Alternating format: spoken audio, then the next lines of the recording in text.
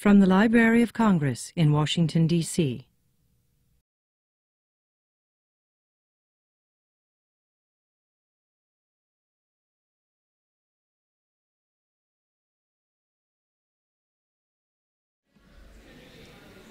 Good evening. I'm Kay Jamison. I'm from the Department of Psychiatry at Johns Hopkins, and I'm delighted to be here this evening to chair a symposium, the Symposium on Depression and Creativity, which is jointly sponsored by the Library of Congress and the Dana Foundation. This evening marks the bicentennial of the birth of the German composer Felix Mendelssohn, who died after a depression, a very severe depression, following the death of his sister. Um, Dr. Whybrow is going to be talking a little bit about Mendelssohn in his talk. There are rare Mendelssohn-related items from the archives of the Library of Congress, which will be on display during the commemorative series of programs presented by the Library of Congress, the National Academy of Sciences, the National Gallery of Art, and the Smithsonian Institution. This evening, my colleagues and I will be discussing the relationship between depressive illnesses, particularly bipolar disorder, partly because bipolar disorder has by far the most connection to creativity. And also, all three of us actually specialize in the treatment and study of bipolar disorder. We're going to be talking about the link between the depressive illnesses in general and creativity. I will be presenting an overview and a history of the relationship, as well as, as a summary of the findings from the studies that have been conducted to date. And then I want to briefly discuss some of the reasons why there might be a connection between mood disorders and creativity. Why, why is it that you could have such devastating illnesses be in any way connected to something as marvelous as human imagination? And then talk a little bit about some of the implications of this connection. Dr. Terence Ketter, who's professor of psychiatry at Stanford University and chief of the Stanford University Bipolar Disorders Clinic, will then discuss clinical and neuroimaging studies of creativity. And this will be followed by Dr. Peter Whybrow, who is director of the Semel Institute for Neuroscience and Human Behavior at UCLA, as well as chairman of psychiatry at UCLA. Professor Whybrow will talk about the creative cycle, biological and psychological elements of creativity. A possible link between madness and extreme moods and genius is one of the oldest and most persistent of cultural notions. It is also one of the most controversial. This evening, we would like to discuss several aspects of this link between mood disorders and artistic creativity. We're going to be talking about studies of dead people uh, who were highly creative and also had problems with their moods. And we're going to be talking about living, studies of living artists and writers and talking about some of the, what we know about the biological and psychological and cognitive links between extreme mood states, cognitive states, and creativity. Clearly, most artists and writers do not have any kind of mental illness. The argument is not that. The argument is that artists and writers, and especially poets, suffer disproportionately from depressive illnesses. The clinical and ethical implications of this association are important but poorly understood. Many treatment strategies pay insufficient attention to the occasional fleeting benefits that bipolar illness in particular can bestow upon some individuals. It is important to know what the side effects of drugs are that might be treated and the, and the dangers of not treating these illnesses. We know, for example, the left untreated, bipolar illness usually worsens over time. And clearly, no one is creative when severely depressed, psychotic, in four point restraints, or dead. In addition, patients with mood disorders frequently use other mood altering drugs, such as alcohol or cocaine, which cause serious medical and psychiatric complications. The real task, as any clinician will understand, of imaginative, compassionate, and effective treatment is to give to all patients more meaningful choices than they are now afforded. And I think that the research is going in the direction of allowing this. Scientists, uh, and I think you'll hear this from both Dr. Whybrow and from Dr. Ketter, are getting a real understanding into what's going on in the brain when people are creating as well as when they are depressed and when they are manic. So I would like to start now with just an, an overview, as I said, about what we know about the relationship. Um. I want to start with a caveat. This is uh, Robert Lowell, arguably one of the great poets, American poets of the 20th century, who had suffered from at least 20 major breakdowns in his life, had bipolar illness, and he described one of his manic episodes as a magical orange grove in a nightmare. What we're going to be talking about this evening focuses a little bit on the magical orange grove side of things. But it's very important to keep in mind the devastating aspects of these illnesses, particularly suicide. One million people a year die by their own hands across the world. Most of those are related to mood disorders. So it's important not to in any way romanticize bad illnesses, but also understand that there are some aspects of these illnesses that are particularly interesting. Um, when there, you can really look at the relationship between mood disorders and creativity and depressive illnesses by looking at uh, people, biographical studies of people who have died, and as I say, studies of living people. I'm going to be focusing in uh, the first part of my talk on people, uh, biographical studies of people who have died.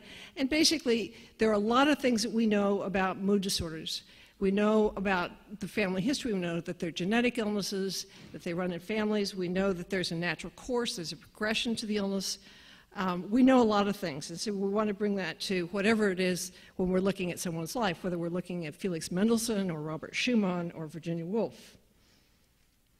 Um, I'm not going to get into dis discussion of the diagnosis of mood disorders. Partly it's one of those, I have to say, probably intrinsically not wildly interesting topics in its own right, but it's also complicated. It's just to say that, we, again, we know a lot about the diagnosis and treatment of these illnesses, and that when you study anyone, whether they're in your office or whether you're looking at their papers and medical records, you, you look at certain aspects of symptoms, how the symptoms present, how they present together, because it's never just one symptom alone, it's a patterning of symptoms, it's a severity of symptoms, and it's a patterning of symptoms over a period of time. Um, so I want to start by talking a little bit about the course of the illness. One of the things that you can look at if you're looking at the life, for example, of Robert Schumann or Vincent van Gogh, you can look at how does the illness manifest itself over time. If the person had problems with moods, when did it first occur? We know, for example, the average age of onset for bipolar illness is about 18. Um, and so if somebody started first getting ill, like Van Gogh did in his late teens, it's just one piece of evidence. It's, a, it's like a very complicated crossword puzzle, but you're putting together pieces of evidence. Uh, we know that it's an episodic illness, it comes and goes, that people, by and large, at least in the early stages of their illness, tend to go back to normal functioning between episodes. We know a lot about the duration of episodes. We're not talking about somebody who's just sort of moody, broody, who's depressed for a few days. We're talking about the average length of an untreated episode of bipolar depression is 9 to 12 months. Of untreated mania is about 1 to 3 months. So we're not talking about short periods of time. We're talking about people who have very severe illnesses for prolonged periods of time. Although both Dr. Whybrow and I think Dr. Ketter in particular will be talking about the far less severe forms. I'm going to be focusing on people who are more seriously ill. Dr. Ketter is going to be focusing on the temperaments that are associated with these disorders. And we also know, again, as I said earlier, that these illnesses tend to progress over time, um, get worse if they're not treated, and depression is a not uncommon outcome. That's suicide, I mean. We know that again, that the average age of onset is early on. Um, this, these are most of the psychiatric illnesses are illnesses of youth, and you can see here that most people who get bipolar illness will get it um, before the age of 25. So, if you look at uh, looking at another German composer who was actually a colleague and friend of Felix Mendelssohn, Robert Schumann, one of the things that you can look at is the patterning of productivity over time. So if you see someone who has very episodic productivity and it's seasonal and it's accompanied by other symptoms that are associated with hypomania or depression, then that gives you some sense that that person may be more likely to have a mood disorder and the productivity follows. So uh, Slater and Meyer in England, quite some time ago now, plotted out the number of uh, works by Robert Schumann as a function of the years uh, that he was hypomanic and depressed. And you can see that in those years in which he was very depressed, he produced very little. And in those years in which he was hypomanic or mildly manic, he was indeed very, uh, very productive. And, and, the last two years and two and a half years of his life, he was in an insane asylum um, and produced next to nothing. Um, Vincent van Gogh, you can see again that the, if you're looking at the progression of an illness, that he started first getting melancholic when he was um, in his teens, but then as time went on, you can see the increasing number of episodes, the worsening of his illness, and then by the last few years of his life, uh, increased number of psychotic episodes, and then, of course, killed himself um, at the end. Edgar Allan Poe, who perhaps one could say was never a wildly happy man. Um, but you can see this is reading different, the years in a uh, different direction here, but you can see again the same pattern that uh, early on in his life he, he certainly had periods of melancholia, but as he got older, these progressed. And then in the year before he died, he attempted suicide. Um, and in fact, that photograph uh, before was taken not long after he, after he attempted to kill himself. one of the things that's most important uh, piece of evidence is, in, particularly in bipolar illness, is bipolar illness is a very genetic, very heritable illness. And so if you look at the family histories of the individual artists and writers and musicians, you can um, see whether or not these illnesses tend to go down the family tree. Uh, this is Lord Tennyson. And this is the first of two slides, and you can track his family history back um, to the late middle uh, 1600s. And you can see that at one point, the Clayton family and the Tennyson family intermarried, and there was uh, insanity and severe depression on both sides of the family and violence. And you can see this as time goes by, Tennyson's grandfather there, George, and, uh, had full-blown um, disorder, uh, bipolar disorder, and both of his aunts and uncle were affected. And then what you see is this really quite astonishing um, group of brothers and sisters. His father, Tennyson's father, had um, psychotic episodes and died quite ill.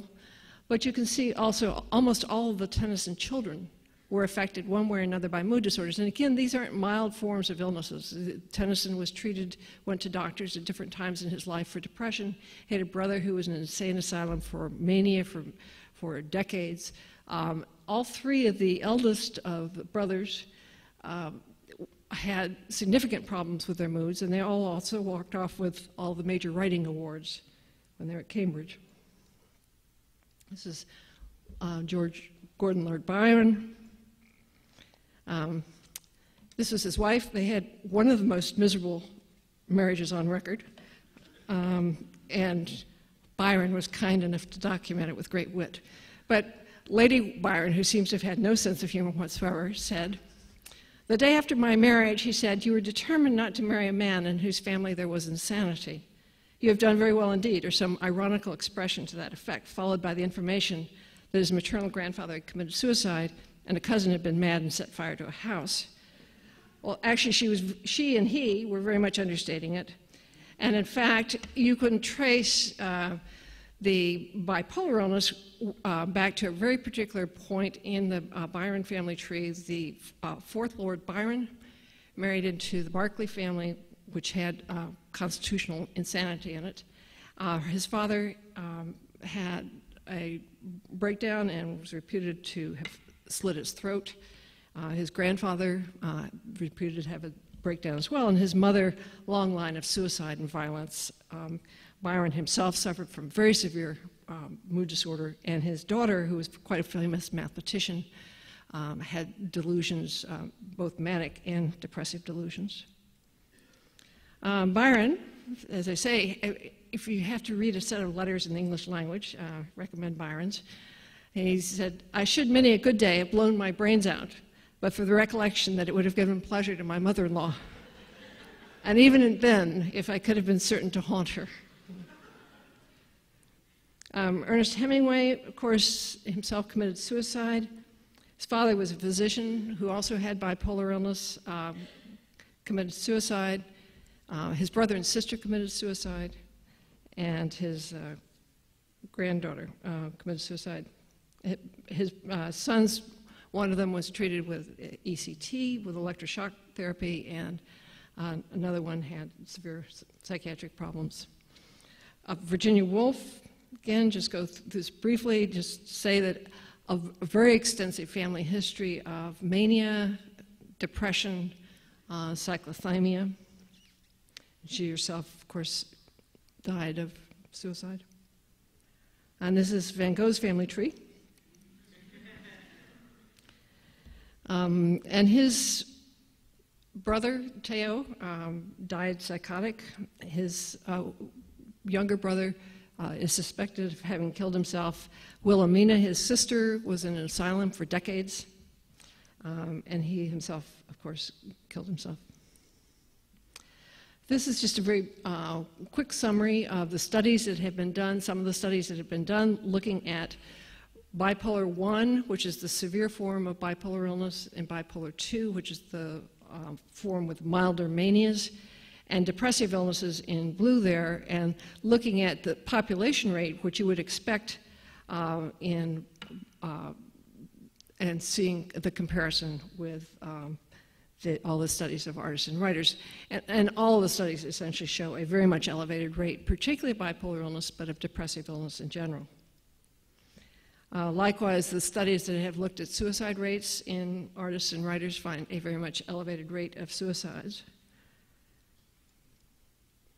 Uh, so why should it be so? Why, why would this illness, why would these, this constellation of illnesses really be correlated? And, and as I say, Dr. Whybrow and Dr. Ketter are going to be discussing this in much more detail, but you can imagine there'd be certain changes in mood and certain changes in uh, thinking that occur when people are manic and when people are depressed. They also sense the world in a very different way. They have hyperacusis very often when people are mildly manic. They feel and experience the world very differently. Um, they have very different patterns of energy and sleep, um, high energy during mania. Um, and then there might be long-term correlations with personality and temperament uh, that a particular kind of person may be more likely to have bipolar illness, and that particular kind of temperament might be more linked to the creative process. Um, this is a very, very, very old slide, and I just use it as um, really metaphorical, not because of its accuracy per se, but just, just to say that the brain is a very complicated sort of thing that is acting very differently in mania and depression. And again, Dr. Ketter is going to be going into this. This is a, a, study that was done in the very early stages, in the very early studies of um, imaging.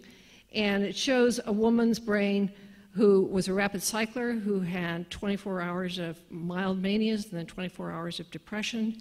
And you can see the brain uh, when she was hypomanic in that center row uh, showing a much more activated state. And this is, as I say, very simplified. It's really more metaphorical than not. It's just to say the brain's doing very different things when people are manic and depressed.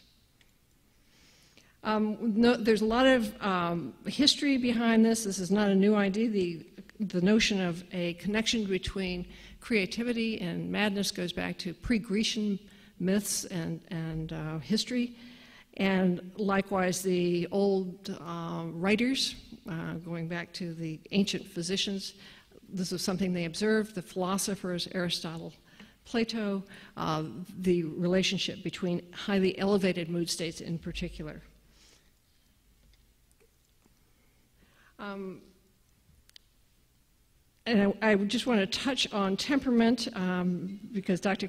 Ketter will. This is actually taken from my nephew's uh, art class. And I think it's quite wonderful because there are a lot of things that go into creativity other than just creativity itself. I mean, it's one thing to have an idea, it's another thing to act on an idea. And acting on an idea has some aspects of grandiosity and expansiveness and drivenness, but it also there's a resilience and a tendency to persevere. That anybody who's doing anything that's at all different is going to get very criticized. And the question is not whether or not uh, you get criticized, the question is what, once you're criticized, whether you bound back or not. Um, and not to speak highly of depression, because I don't think anyone who's been depressed would, um, but there are certain aspects of depression that lend itself to reflection and introspection and puts into perspective things that might have been generated in a more volatile or fevered manic state.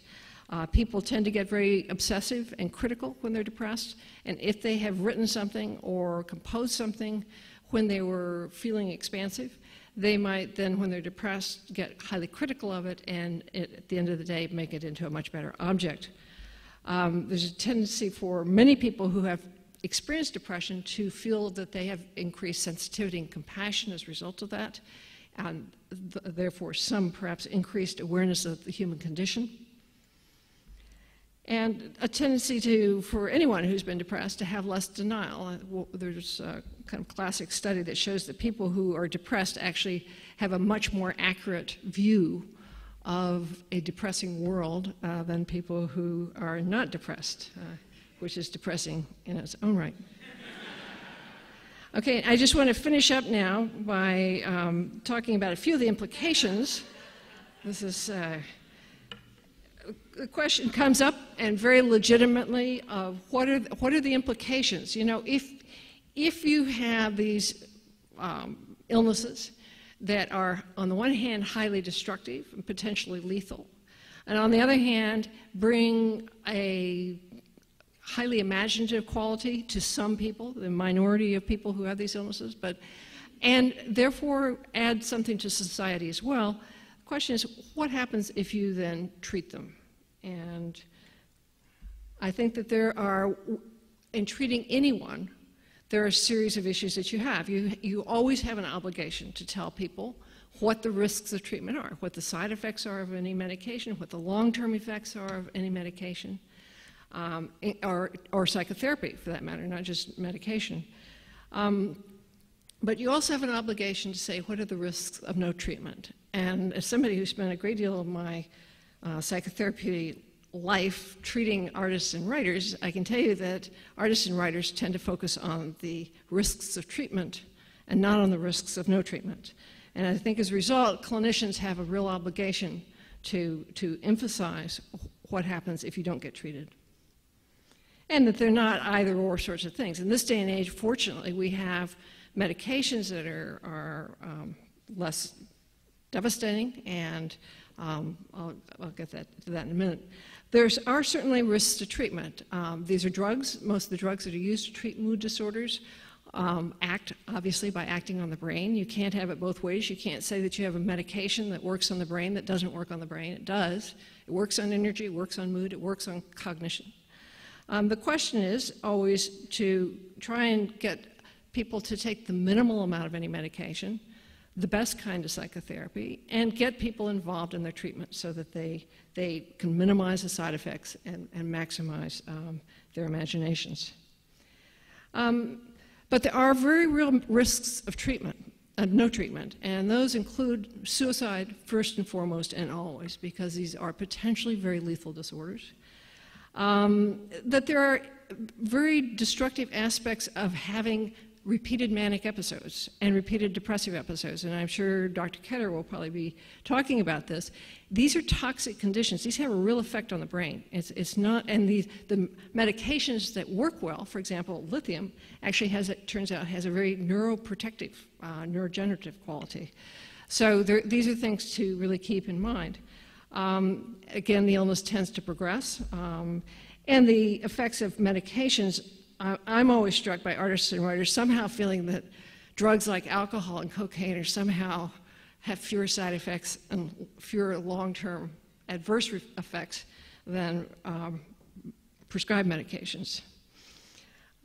Um, this is just a, this is actually a study of a long time ago. I'm, i actually meant to replace it, but it's, it's essentially the same data. The, these, the medications that we have now really do save lives, and since suicide is such a major risk, um, we know there are probably 30, 35 studies now showing a lower risk of suicide in people who have been treated with lithium. And another thing, uh, in terms of mitigating factors, is that two thirds of patients, for example, who are on lithium, in fact, report no significant changes in intellectual functioning of any kind. And the two studies that have looked at artists and writers and said, do you feel as productive, more productive, less productive on medication than you did before medication for your mood disorder? Three quarters of them, of the artists and writers, say that they are as productive or more productive on medication. And that's again because these are such totally debilitating illnesses. And I just want to end uh, before introducing Dr. Ketter by getting back to Robert Lowell. And Robert Lowell was just got treated really on the cusp of when, when lithium was first introduced. And once he was put on lithium, he stopped having his manic episodes. He stopped needing to be in the hospital. And his publisher said about him and his editor, of all our conversations, I remember most vividly, vividly Lowell's words about the new drug lithium carbonate which had had such good results and gave him reason to believe he was cured. It's terrible, Bob, to think that all I've suffered and all the suffering I've caused might have been arisen from the lack of a little salt in my brain. Thank you.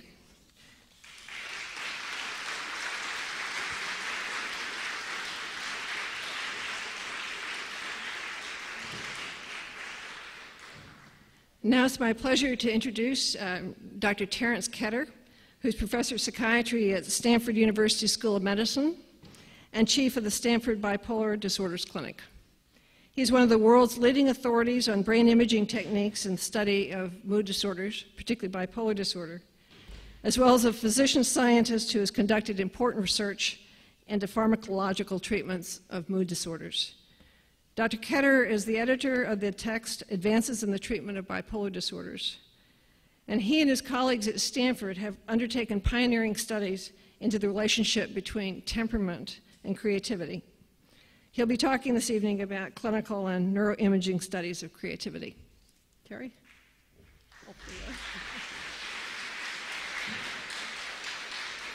Thanks, Kay. Thank you, Kay. It's a pleasure to be here with you today and uh, to be able to share some of these findings with you. Um, that's about halfway through it. Yeah. Okay. There we are. Okay. So for this, um, what I've tried to do is to try to put this in the language English instead of a lot of jargon. Okay. So I, the, the title is Feelings and Thinking Mechanisms of Creativity in Bipolar Disorder.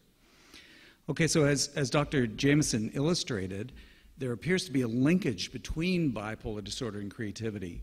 And if that is the case, then how does that happen?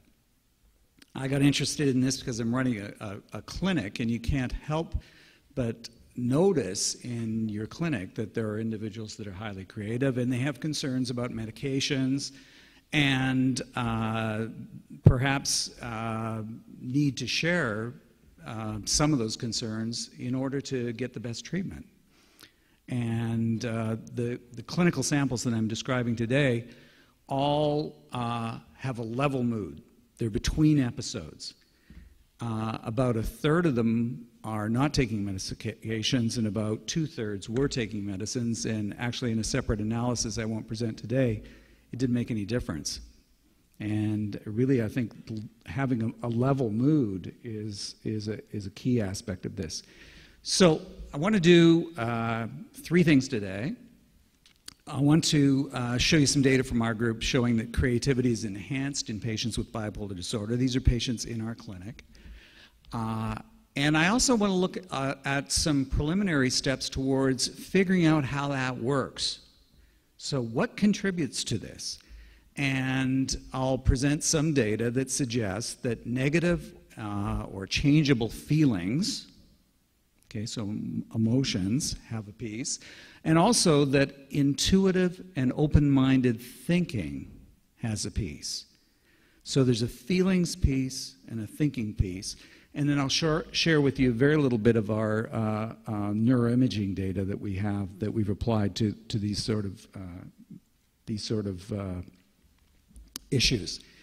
Okay, so can, can we put the whole talk into six words on one slide? And, and this is it, okay? So the mechanisms of creativity in bipolar disorder, and what I would want to try to convince you after I've shown you that, that it's enhanced in our group, is that negative and changeable feelings have a piece, and intuitive and open minded thinking has a piece.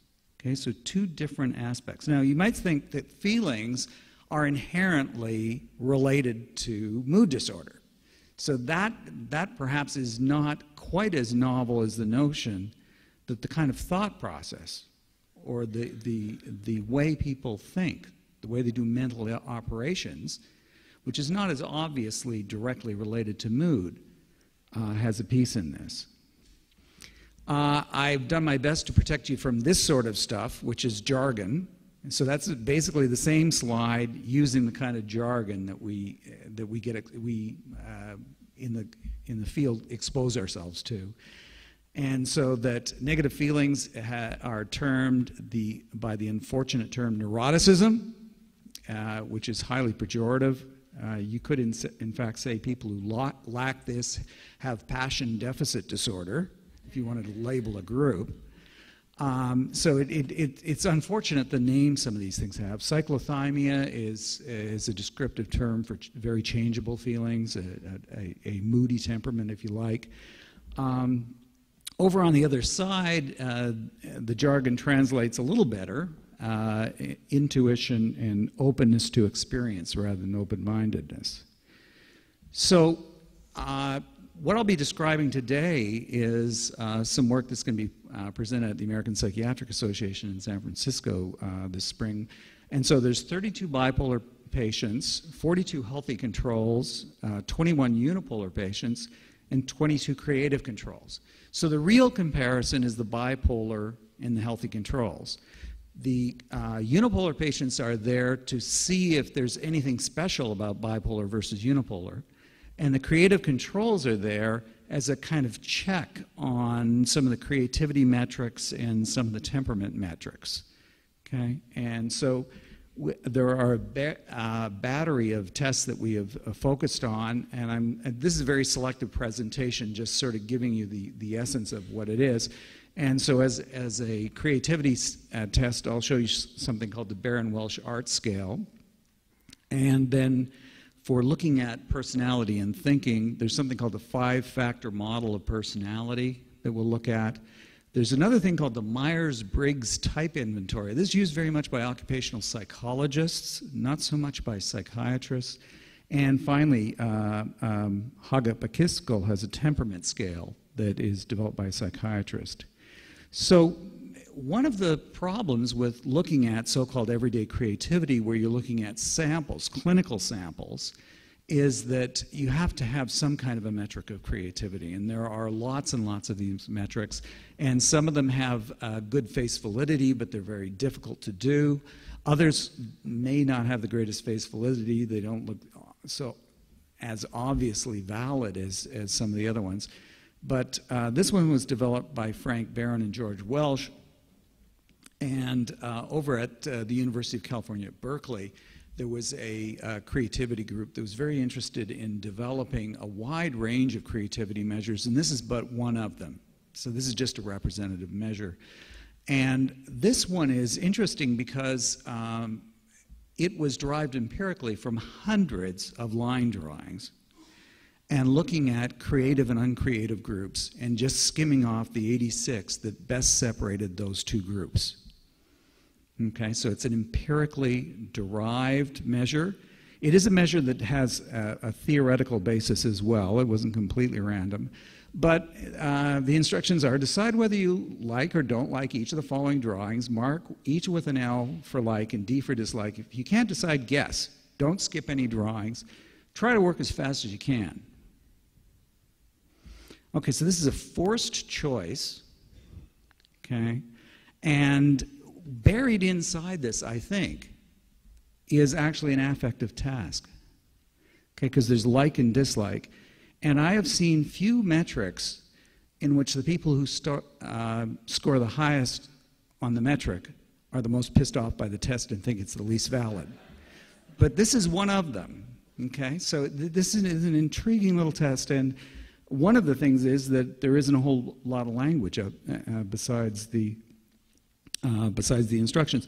This, is, this was developed and then validated, and interestingly, it, perhaps it's not surprising that visual artists and, and such can score very well on this, but uh, creative writers will score well on this.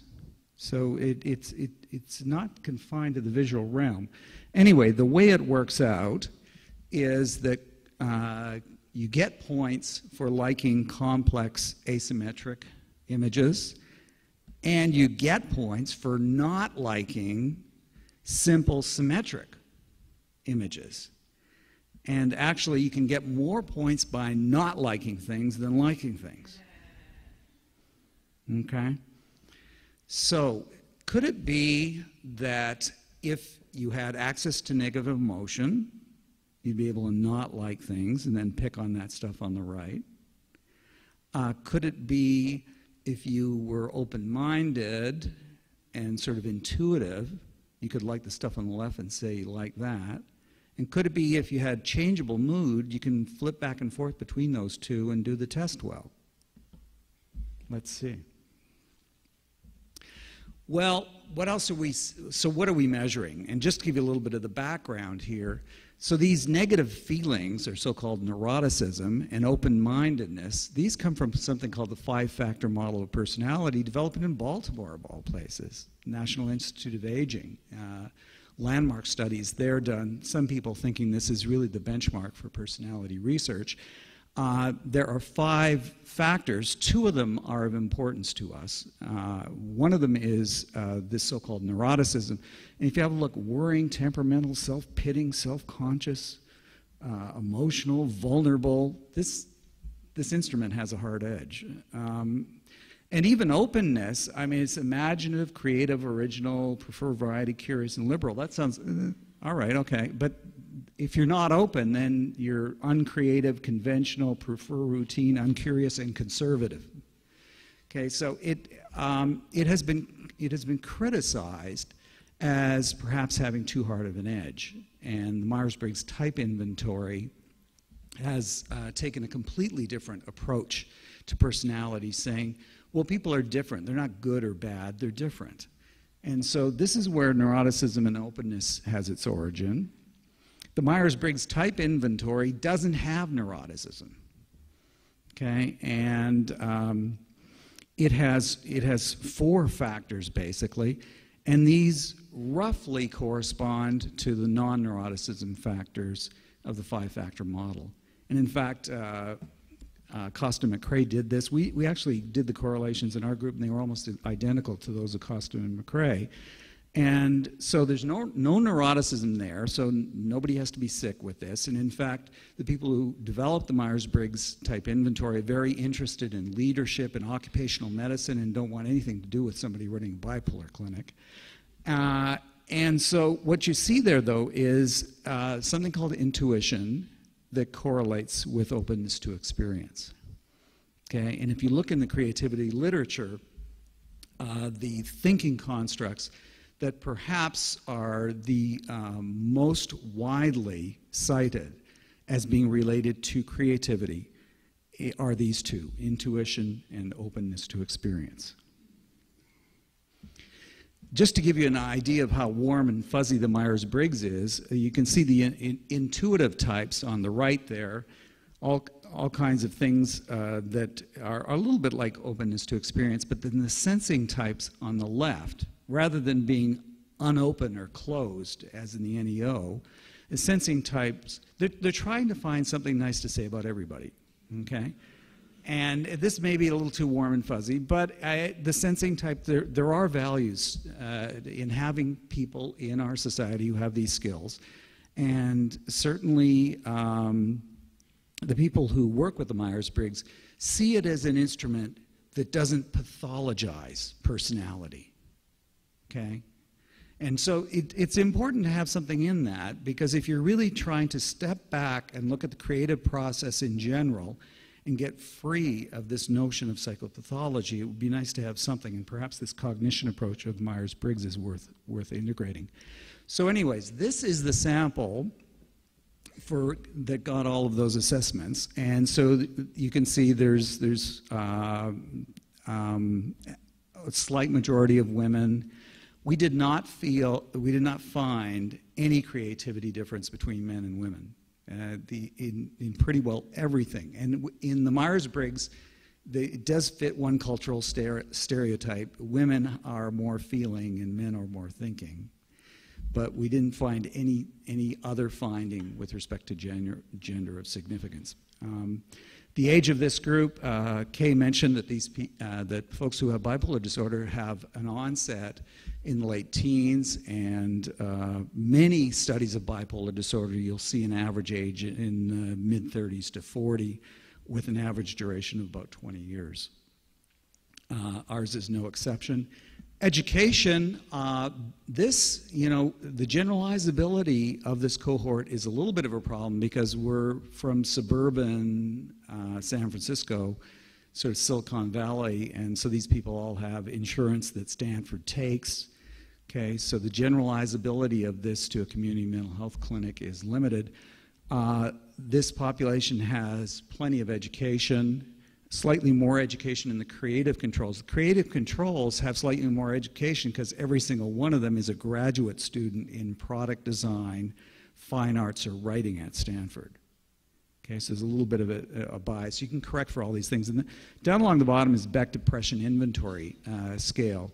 And um, in clinical trials, if you've got depression, you want to get into a clinical trial, you need about a 20 on this. And if it's less than 10, you're doing pretty okay. And you can see that uh, in general, these people are not clinically depressed, and none of them were hypomanic at the time. Uh, creative controls, about half of them had a history of either depression or drug or alcohol use, but not bipolar, and half didn't. And basically, their creativity scores in those two groups were very similar. So it's, it's uh, these are the results. So that funny line drawing test, it's, that's the Barron-Welsh total, and then you can look at the dislike scale and the like scale. And what you see there is about a 50% advantage over the healthy controls in the bipolar and creative controls. 50% higher uh, scores in the total. And most of it's coming out of the dislikes subscale. They're in the middle. Okay? And there it's like 80, 90% taller. And even the unipolars get in the act on that. Now, the, the unipolar group was able to, they're pretty good at disliking things, but they've actually got a deficit at liking things. They're below. yeah, so, you know, it's uh, that, maybe that's why that, maybe that's why they didn't make it on the total, okay? And there is some, if, if, you look at, uh, if you look at some of the mechanisms, that, that kind of fits as well. So I was trying to say that negative feelings, changeable feelings, intuitive thinking, open minded thinking uh, were overrepresented in the bipolar patients. So let's have a look here. So these are the negative feelings. This is the so called neuroticism you'll notice that this is, this is a pretty substantial uh, difference, but it, it's dwarfed by this 10 times bigger difference on changeability of emotion. Okay? And the reason is that that changeability of emotion is, is a scale made by a psychiatrist going after differences between unipolar and bipolar. And in fact, you, you see this, this difference here. But basically, the mood disorders, negative emotion lacks any kind of valence with respect to unipolar bipolar. And that's Dr. Akiskal's uh, big problem with that construct. Okay, and by bringing uh, cyclothymia, changeable ability, you get something that distinguishes the bipolar. Does this take it across the goal line on creativity? I don't think it does. In fact, I think what, what ends up taking it across the goal line are the differences in thought processes. And so if we go over here to thinking, and you'll notice this now has a different scale. Okay, these are smaller differences. They're still significant. They're not as highly significant. And the reason that is that these are things that are not specifically designed for mood disorders, applied to a mood, mood disorders issue. But you can see that uh, scores for intuition in the bipolar uh, and the creative controls are elevated significantly. Uh, we like to, just like, remember when you're in school, the uh, uh, teacher give you a star when you did something good? You get, you get a star if you're clinically, uh, statistically significant, okay? So that's what the stars are for. And so we see an increase in intuition, uh, kind of similar between the bipolars and the creative controls, and also an increase in open mindedness. Okay? So basically, these constructs, intuition and open mindedness that have been associated with creativity, are enhanced in the bipolars and the creative controls. And the healthy and the health, healthy controls, the norms, we looked at normative data, our healthy controls are within a percent or two of the, the population norms. So there's nothing odd about that. And then the, the unipolar group is something just a little bit different and uh, doesn't quite make it. There's a little bit of it there, but doesn't quite make it to statistical significance. So we can build this kind of a model. So what, what we can do to say, okay, creativity's increased, and uh, negative feelings, changeable feelings, intuitive thoughts, open-minded thoughts are increased. Uh, what's that? Do those relate to each other? And the answer is yes. So these are correlations, and they, they do something uh, by squaring the correlation coefficient to give you a number that explains the contribution, okay? So you see, uh, with respect to feelings, negative feelings contributed about 15% of that total score of the Barron-Welsh, and changeable about 14, so pretty high. Uh, thinking, intuitive thinking, and open-mindedness not quite as much, a little bit less. All of those were significant, though. Now, looking at these kind of percentages, if I saw something that, that accounted for like 80% of creativity, one, one item, I'd really wonder what was up because this is multifaceted. Okay, and I think things that are things that are, are in the neighborhood 10 to 20 percent are of clinical interest uh, it's very interesting. It, we, a lot of, a lot of the, the work that we do with medications, if a medication has a 10% advantage over placebo, uh, that is usually enough to get it FDA approved. Okay, so those are the kind of margins that we're working at. So, so 10%. So, but if we drill down on this a little bit, we can see something. Okay, um, the negative feelings and changeable mood were basically working on the dislike subscale. Okay? remember saying that those would that certainly the negative feelings you maybe you would be able to dislike things better and in contrast which is was kind of enlightening uh, intuitive thought processes and open-mindedness actually correlated with the like subscale now like is the junior partner in the whole enterprise okay? But um, negative feelings and changeable feelings did not correlate with like. And in fact, intuitive feelings and open minded feeling, uh, thoughts and intuitive thoughts did not correlate with dislike, although uh, intuition got close. So you, you've got a, you got a potential mechanism there that, in fact, the creative advantage we see in the bipolars comes from uh, not, on, not only the mood itself, but perhaps, as, as suggested by the right hand side of the screen, uh, the way thinking occurs. And just to show you that this, um, this notion uh, about using thought processes is, not totally irrelevant to, to the enterprise of understanding creativity, we did something called the Adjective Checklist Creative Personality Scale and there you see open mindedness really start to shine because it, it really is the poor cousin. It's kind of it's the least among, amongst the four. but it, it did quite well on that, and as uh, did intuition. There have been multiple studies showing that in the past, so that's where we're kind of focusing on that. And the feelings didn't really have that much to do with that scale. Now, one of the things is suppose we, we know how this works, and there's the thinking brain and the feeling brain. How can we relate these kind of things to what's going on inside the brain? Uh, Kussler's uh, definition of creativity is meaningful, rule transcendent production. And you can actually uh, parcel out parts of the brain that will give affective meaning to different stimuli or remember things or uh, uh, create associations or actually implement, implement plans. So there's brain areas that can do these kind of things.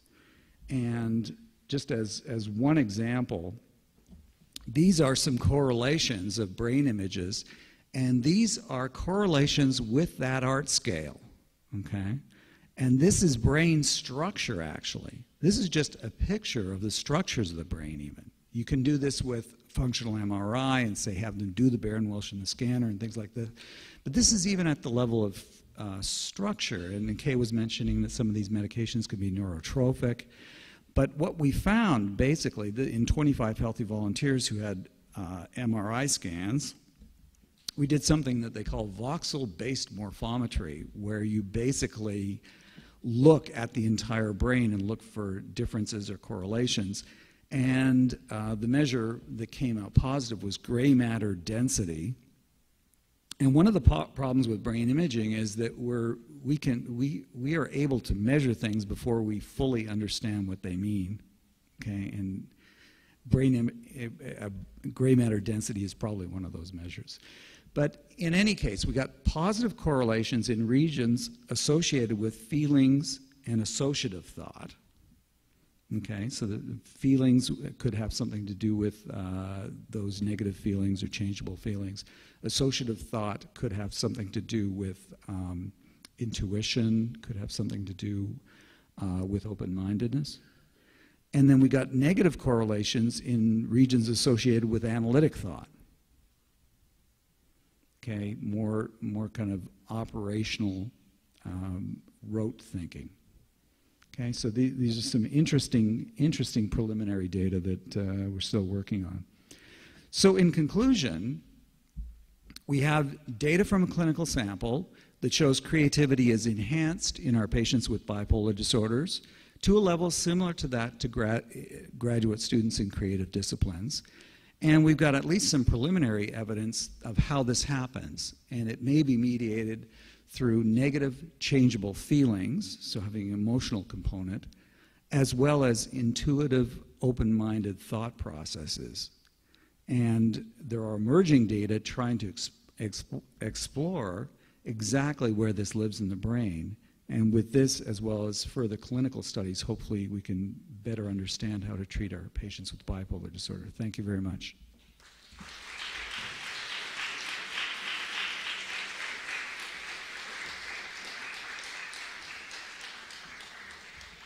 Thank you, Dr. Ketter.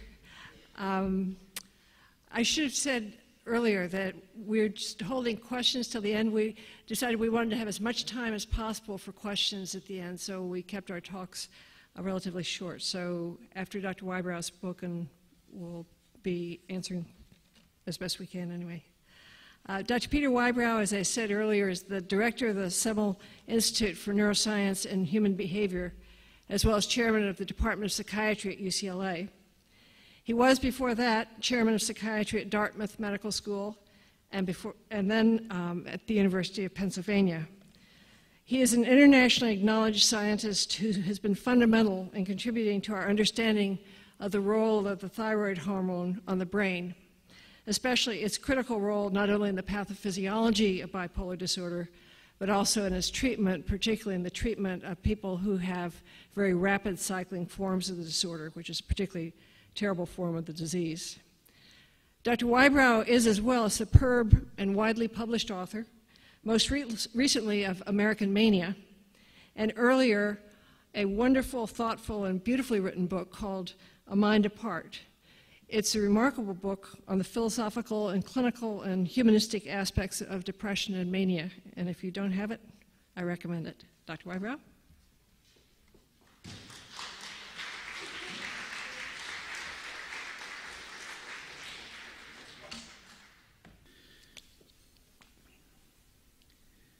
This gentleman, whose birthday it is today, was a prodigy.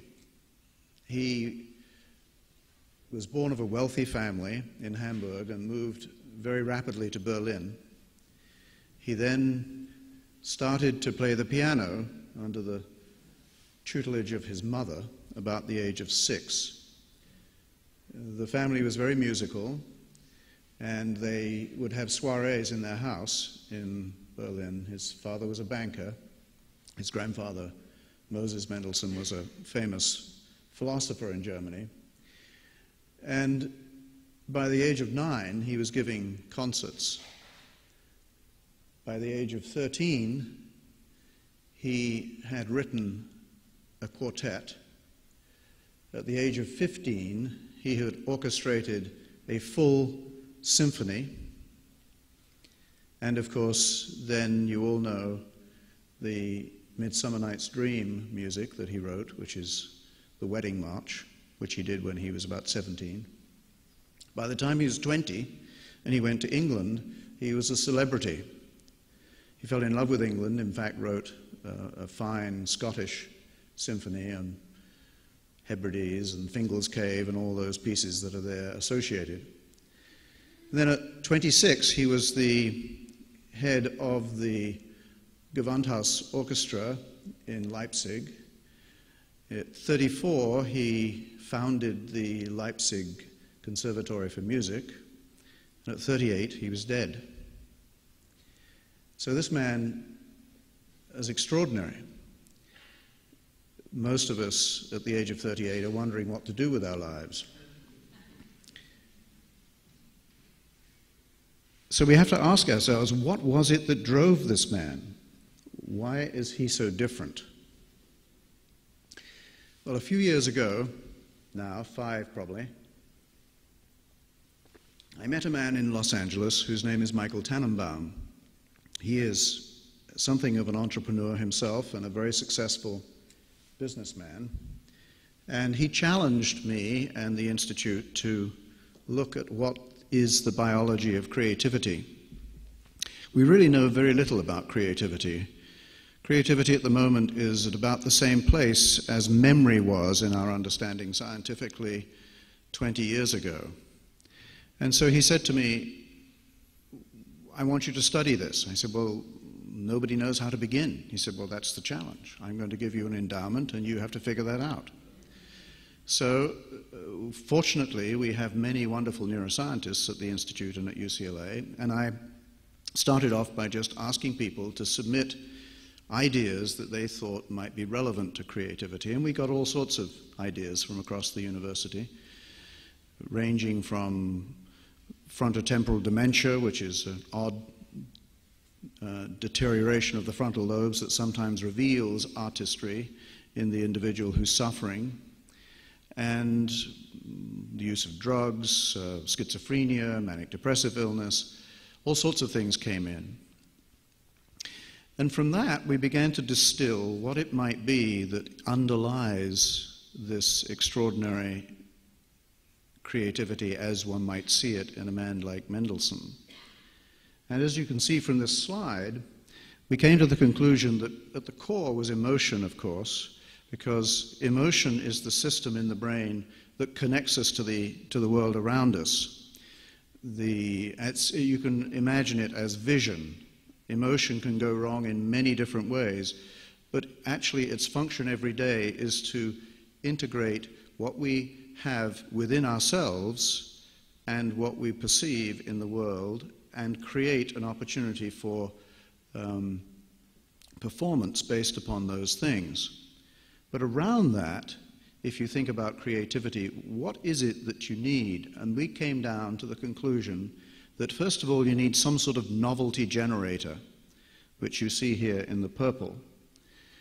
And of course, in order to manipulate ideas of any size or number, you must have memory, a prodigious memory.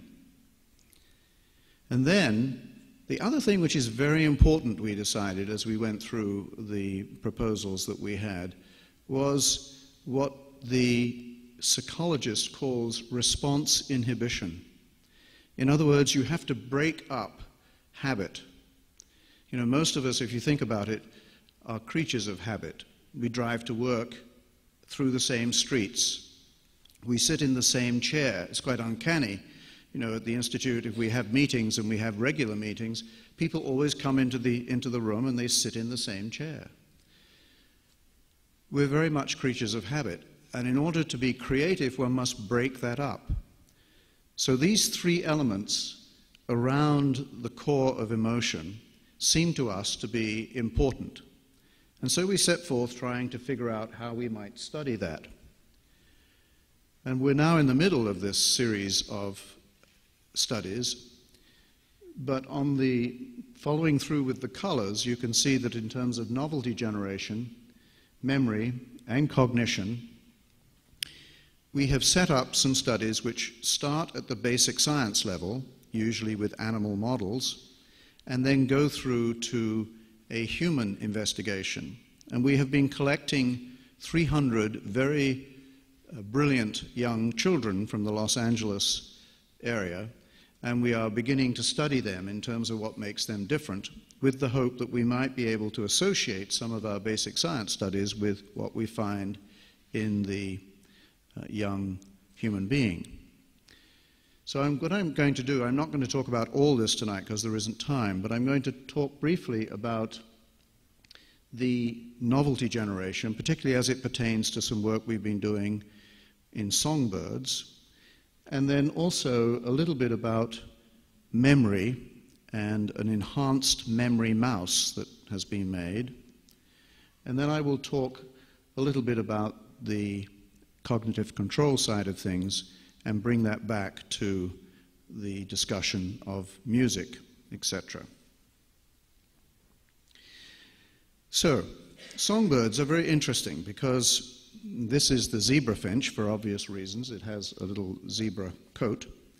And um, these creatures teach each other how to sing. This is actually a pupil with his tutor, usually his father, and they learn the standard song, but the young finches, which are particularly good, manage to extrapolate upon that basic song, and they actually are the ones who get the, the female birds. They're the ones who the ladies flock to.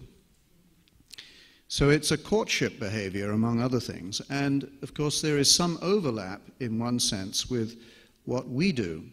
You see, we're all very creative. Let's just think about it. Every time you open your mouth and create a sentence, you have made something novel because that sentence probably will never be repeated again.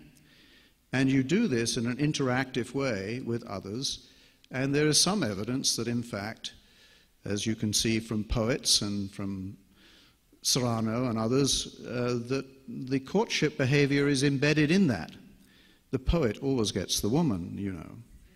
So, and music too. So, in fact, there's an interesting association between verbal facility and the ability to actually generate not only the first song, which of course is the first art in music, but also perhaps with music itself. Well, about 20 years ago in England, a family was discovered who, for about three generations, had had particular difficulty with language. In fact, you couldn't really understand what they said in some of the members of the family. Even though they tried extremely hard, they could not maintain the intonation, which most of us automatically are able to do as we grow. And it was discovered that this family had a particular a gene on chromosome 7, which is now called the FOXP2 gene because it is actually has got a forked, it's called um, FOX because it's a forked head and also a um, box gene, which is a particular genetic, generic form of genetics, which these are, these are actually genes which don't do very much themselves, but they turn on a great deal of other genes in the brain. And it was discovered that this particular gene was damaged in these individuals who could not uh, develop proper language. And this was a fraction of, you can see it, for those of you who are at the front, the little red line that goes across. That was a mutation in this family that completely disrupted the function of the gene. And from there, it was found that in fact this gene is extremely old and it is conserved, as the geneticists say, throughout evolution. A mouse, for example, who is who we diverged from the mice about 70 million years ago, has this same gene, and so do chimpanzees and all the other apes. The interesting thing is that the mouse and the ape have only one mutation different in their FOXP2 gene. That same gene is in the zebra finch as well. Now, we, the human species, Homo sapiens, have two mutant differences from the um, great apes and the other primates.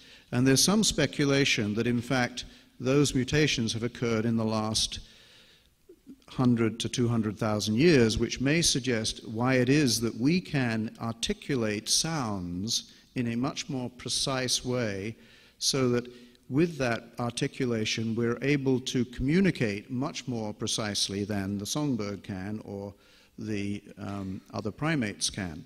So there may be an interesting correlation here with language with this particular gene. So Stephanie White, who is one of the scientists at the Institute who works in this project, has been able to show that when you actually damage this gene in the finch, you don't actually remove it completely, but you downgrade it so that it doesn't work quite as effectively, the songbird actually doesn't produce the, the, the tune in quite the same way as the father is teaching it. And similarly, you find that when the, the songbird, the young songbird, the, the, the one being taught, is particularly adept, that there is a, a great advance in the uh, activity of this particular gene. So we're not saying here that in fact this gene explains the activity of language or music, but what we are saying is that it relates to a cascade of genes which actually are very important. And of course, all of us are all slightly different. As you can see, everybody's face is the same, but it's also unique. And so is our chemistry. So you can imagine that there would be minor changes that might lead to somebody having a much greater facility. For example, my father, who is a musician, had perfect pitch. And he never quite understood why I couldn't play the violin like he did because I do not have perfect pitch. There was a scrambling of our genes, and he, he I did not get what he had.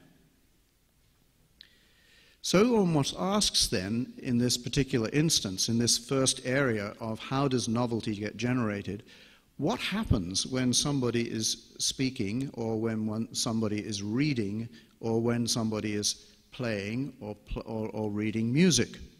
And in this particular slide, I hope you can see it from the back, these are all individuals who are actually patients of ours at the Institute, and this is work of Susan Bookheimer, one of my other colleagues.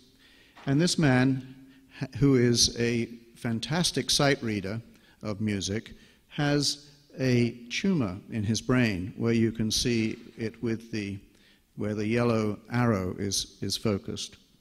And it's in his parietal region. The way you look at this is if I took off my head, okay, and held it up like this, you're looking at it underneath. So in fact, the, the way you are looking at it is that this side of the head is the left side, and this man is, is, is right-handed. So he has a tumor in the dominant um, hemisphere. And of course, when you go to operate on such a tumor, you want to be sure that you take out only the pieces uh, that you must, and you try to preserve the speech areas and other areas that are important. So, what Dr. Bookheimer does is she um, does these um, fMRI scans, similar to what you were seeing earlier, which then help us understand exactly where that uh, um, tumor is and what we should be careful of when taking it out. And as you can see in this particular instance, when the individual is, is reading or playing music, there is a much more active area in the parietal visual area of the cortex, which is in that circle that you see on the far right there, your far right, compared to when they are speaking words. So let's look at another person who is a composer. Now, this person is in the scanner and is asked to think of a story, compose a story in his, in his mind, and also then to compose a piece of music. He's not playing the piece of music, but he's thinking about the piece of music. So, first of all, note where the tumor is. The tumor in this case is, in fact, very close to what is called Broca's area, which is where the production of language occurs. And so we were very concerned that in taking this particular tumor out, we would destroy his speech center. And so these studies were done extensively.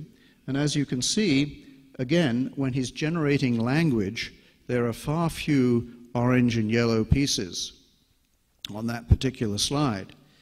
Just to emphasize that, let's look at the next one. Excuse me, we've gone too far. Let's look at this one, and you can see that in fact, in that square, that yellow square in the the top there, which is when he is thinking of melodies, there is a whole area of brain which is being used. In fact, what this man is doing is he's using his acoustic part of the cortex as well as the parietal cortex. So his, he is listening, if you will, to himself generating the music without making a sound. So, what we can conclude is that composers, Mendelssohn, for example, probably listened to all that music in his head when he was composing. And he was able to do that at a very early age, just as Schumann was, for example, who I will talk about briefly in a minute. So, in order to be able to do that, not only do you have this cascade of very unusual generating um, machine, which the, was the novelty generator, but you have to have a prodigious memory. And so we go back to our diagram and let's think about what is working memory in this particular instance. So in order to be able to substantiate this hypothesis, it should be possible, should it not, to be able to improve memory. And in fact, that's exactly what one of our scientists has done. Alcino Silva is a um, molecular biologist and a behaviorist and what he's been able to do is build something which he calls the mighty mouse. Now, this work started from neurofibromatosis. Some of you may know of that illness. Uh, it's a, you, individuals have prominent uh, nerve fibers in their body, develop little nodules, and they also have lait patches on their skin. But very often, people who have this illness they have intellectual deficits. And so it was in studying this that, that um, Alcino discovered that, in fact, this, again, this transcription gene, RAS, HRAS, which you see at the top of the, of the green slide here, was actually something that generated the, um, the ERK, which is the extracellular receptor kinase. And this particular kinase is very important in going to a next stage of the metabolic cascade, which is the synapsin 1, which in turn creates a lot of these vesicles, which are where the communicating packages of neurotransmitters sit in the, in the neuron. And so what we see here is that there is a change in one of the neurons, the presynaptic neuron, which becomes much more active. And in becoming much more active, it generates much more signal and much more information that goes across the synaptic cleft. How do we know that this animal is smarter? Well, interestingly enough, in a swim test where you put the little mice in a bowl of water and they can swim around, they can't see the bottom, they find a platform on which they can stand. And then you take the platform away and you put them in again, and the mighty mouse swims immediately over to where the platform was and starts looking for it. These, this, the regular mouse and the mighty mouse have had the same amount of number of trials, and it's, it's obvious that the mighty mouse learns much faster in these circumstances. The regular mouse can be trained, but he needs much more in the way of training, probably three times as many tests before he gets it right. So here's another example of how various changes in genetics can probably enhance memory. So we can enhance the novelty seeker, the novelty generator, we can enhance the, the memory, and we begin to think that this is perhaps some of the elements that we have to see in creativity. Now, let's talk about this man, who was, as Kay said, a contemporary of Mendelssohn. He was actually born a year later, lived a little longer. Here he is with his love of his life, Clara Schumann, who actually was the daughter of his piano teacher. And there's a, some of you may know that story of how they, their great love affair was, um, um, was actually frustrated by the father, uh, who was the fellow who was training um, Clara to be one of the preeminent female pianists of her time and also was teaching Schumann, but he didn't like Schumann too much, who'd been a bit of a wild fellow when he was younger. But Schumann actually started to compose music when he was seven, very similar to Mendelssohn, but he also wrote. His father was a publisher and a writer, and by the time that Schumann was 16, he'd written a novel. He started, in fact, um, a, a, book of literary criticism and magazine of literary criticism and of music criticism, which um, you can still buy today. He was, in fact, another prodigy. And this man was, as I said, frustrated. In the interest of time, I won't go into the many details. Frustrated in his courtship of Clara, but eventually he was able to marry her. And then that was about 1839. And the year later, he wrote something like 138 songs. Some uh, were in uh, uh, adoration of his wife, but in general, they were wonderful songs. And uh, this was then called uh, Die Liederjahr, the year of the song. And in fact, as you saw this slide earlier, this is what has generated that. He, in fact, had had a hypomanic episode. In fact, his roustabout behavior when he was younger, which so upset his piano teacher, because uh, Clara was nine years younger than he was, and uh, uh, the, the father did not think that having this fellow tramp around with his young teenage daughter was a good idea. But when they finally did get married, he was in his late 20s and uh, Clara had just turned 21. You can see that he went into a hypomanic episode. He'd had similar episodes, or they were not so severe when he was younger and when he was reading law, which he didn't like, and turned to music. And as Kay also said, he ended uh, with a severe depression which was untreated, and basically he starved himself to death. But the important point here is that, in fact, we are now back to the third piece of our cycle, which is the response inhibition. And as you were seeing earlier in what Kay was talking about and Terry was talking about, the interesting thing about severe illness, and it is not just mental illness, but mental illness is perhaps the one that, that particularly engages us, is that it generates a whole new vision of the world. In fact, it breaks up old habits. So, in fact, what you see is that the element here of cognitive control is lost because of the illness, which then gives insights which without the illness the individual would not have. And that's particularly true of bipolar illness, but it also occurs in other disturbances as well. So in this case, Schumann's hypomania, which led to his extraordinary creativity, was a contributing factor, but it wouldn't have been the only thing which have generated his creativity.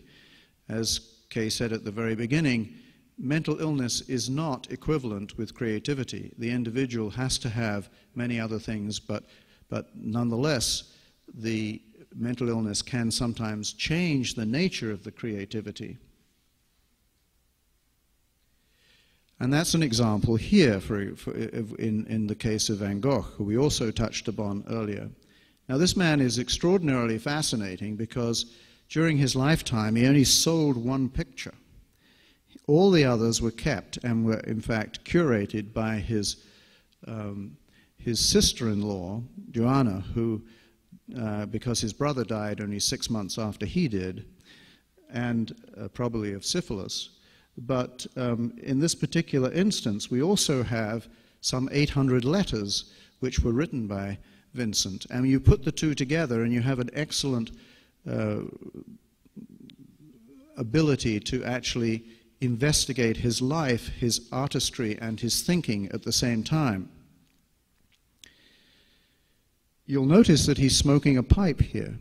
One of the things that Van Gogh also recognized, in addition to his ability to change his behavior under the stress of his illness, was that he could change his moods by using tobacco and also by using alcohol. Now, in those days, ab absinthe was a particularly favorite uh, drink because it has in it herbs which will give you a heightened perception. And so many of the artists in that time drank this stuff, and you can see that he spent a lot of time in Arles uh, towards the end of his life uh, when he was uh, trying to court Gauguin to come down and be with him. And as you can see from this life chart, which is made up from his letters and so on, uh, most of his productivity, most of Vincent's productivity was in the last few years of his life. The last three years is what we associate. Before that, there was a whole different oeuvre. But in fact, uh, by the time he got down to Arles, and he was in a mixed state of uh, sort of irritability and uh, mania and hypomania. And if you read his if you read his letters of that summer, he's busily talking about how he wants to create a whole new school that Gauguin and he will put together in, in the South. What the other most important thing here, ap apropos of our third uh, element of this cycle, is that you see how his his creativity changes with the illness. Now, he was a very solid painter by this time. He had been training himself for many years, and he was a great draftsman. And in the spring, he painted this particular picture in the year um, before he, two years before he died. And you can see, those of you who are at the front, that this is a complicated picture. It draws your eye into the middle, but in fact, there's very little to define the picture other than some construct which you can't really tell. But when you look, if you x ray this picture, you see that he planned it very carefully, and he's got the center organized very carefully with this grid, which was a commonplace thing that people would do in those days. So he, this picture is very planned. And he did the same after he got into the mental hospital. This is after he's cut off the lobe of his ear and he's feeling better. And you can see this is again a planned picture. But look what happens in the fall. And in fact, many of the pictures that you see of Vincent van Gogh in the museums, if you get close to them, you will see that it's layered. The paint is layered one on top of the other.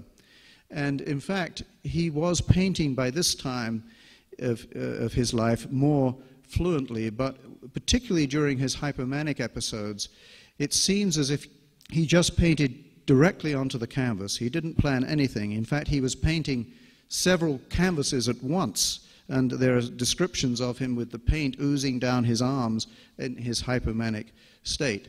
So you see again this interesting shift in the nature of his art based upon the um, expression of his illness.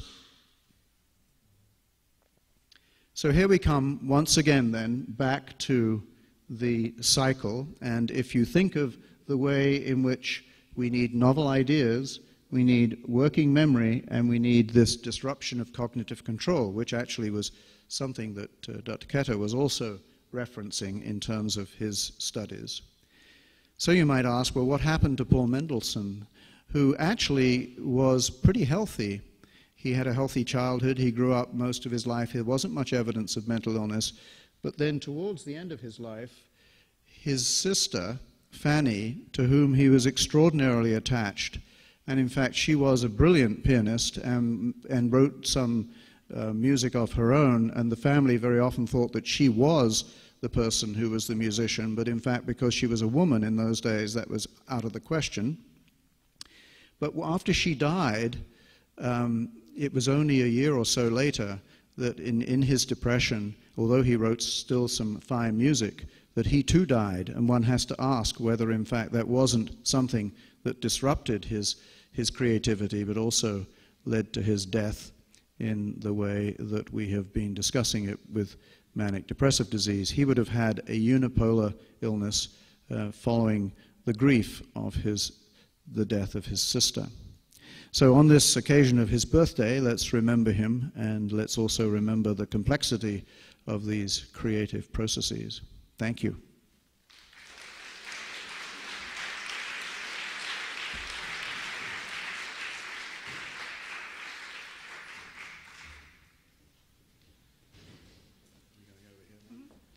So, if any of you all have questions, um,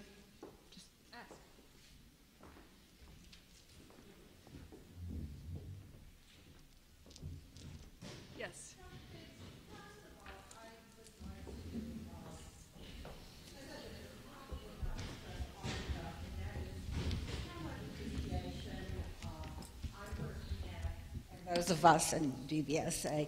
For those of you who um, do devote your careers to research in the area of bipolar disorder, not only for the benefits we receive, we receive in the area of treatment, but for programs like this to help um, to people to learn, maybe perhaps people who have only heard uh, bipolar disorder referred to when someone with bipolar disorder commits a crime. It's uh, I think it's a very positive thing in many respects that you are putting on a performance, excuse me, perform a program like this tonight. So thank you all very much. Well, thank you. Thank you. Thanks.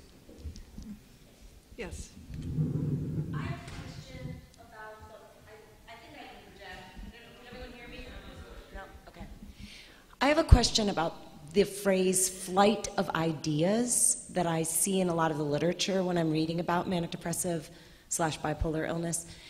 And in many cases, it's depicted as a negative in the literature. And from what I'm hearing tonight, I can see a lot of positives connected to that, in particular to this last idea of um, the generation of non habit forming thinking. So I just would love to hear what you all think about that phrase, the flight of ideas.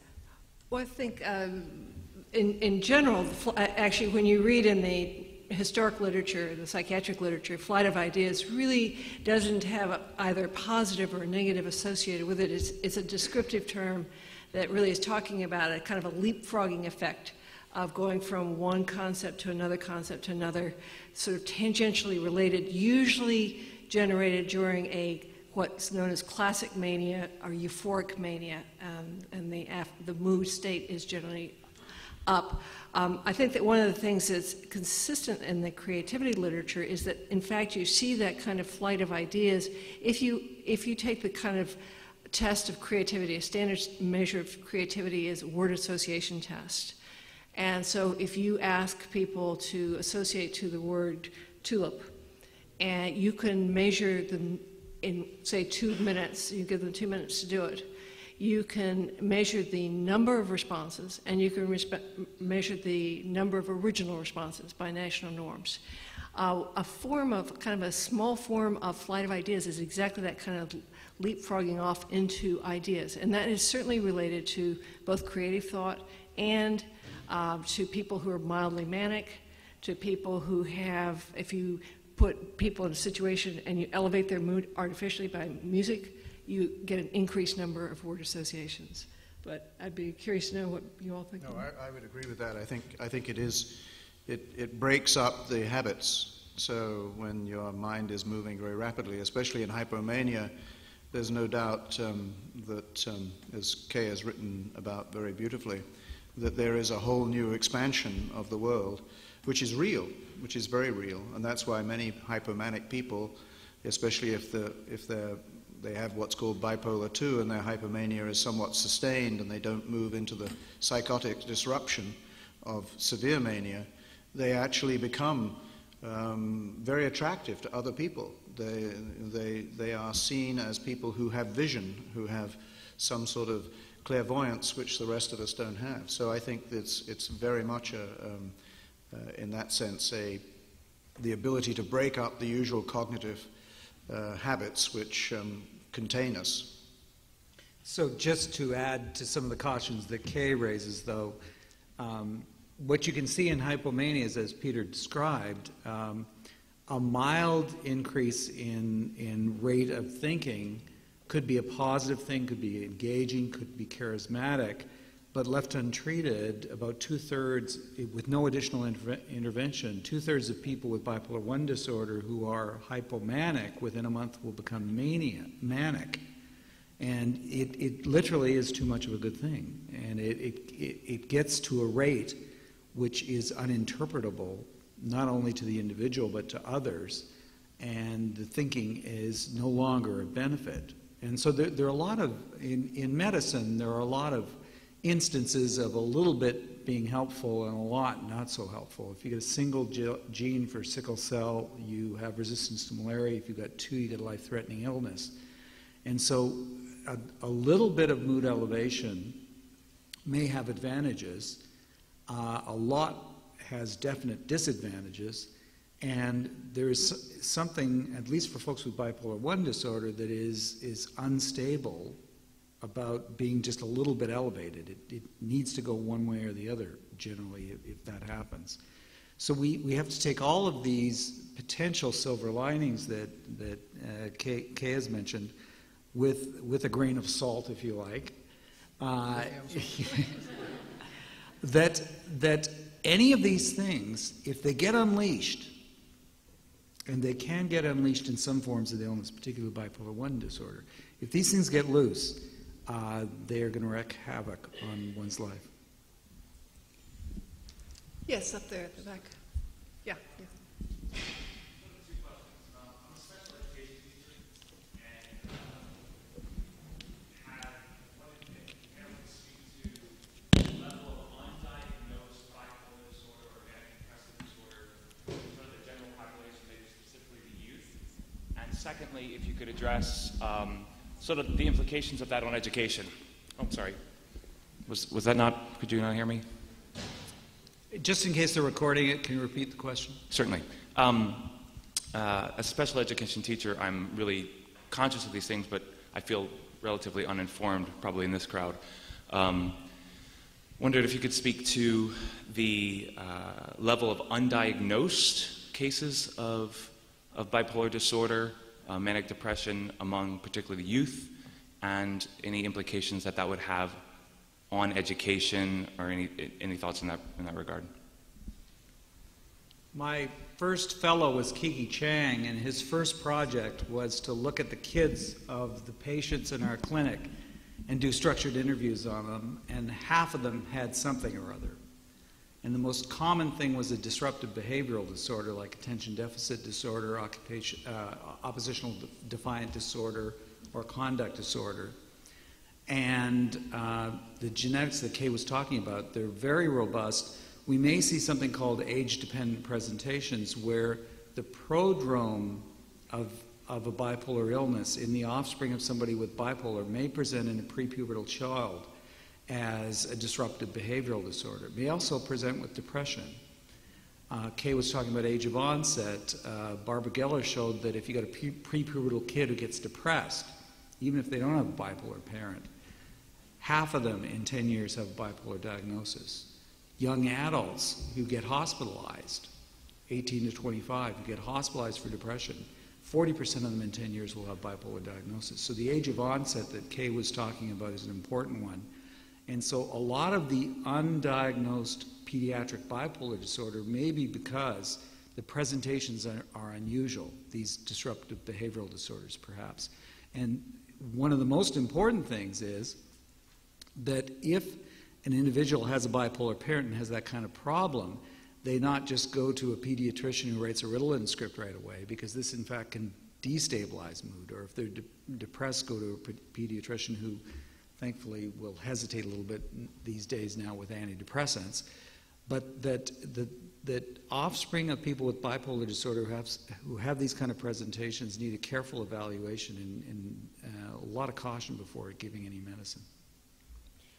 Yes, Hello. I think, you know, one of the, that, just to emphasize that, the problem is that they don't usually present with mania. They present with depression. And so I think the, when I, a few years ago, I um, conducted a study for the National um, Depressive and Manic Depressive Association, as it was called then, and uh, the, the results were quite startling. Um, some people, it took up, to, I think it was about 20 or 30 percent of people, they went 10 years before the right diagnosis was made and might have met six or seven doctors before the diagnosis was actually confirmed. Hello. Um, I, I have a question, uh, just a housekeeping one. If you could tell us at the end of your speech whether or not we can get copies of the things that you put up uh, by going to your websites.